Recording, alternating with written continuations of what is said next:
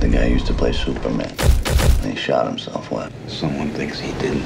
Basado en la historia real de uno de los asesinatos más misteriosos de Hollywood, un investigador privado hará las preguntas que nadie quiere contestar y expondrá un caso que nadie quiere tocar. Adrian Brody, Diane Lane, Ben Affleck, Hollywoodland. Este mes en pay-per-view.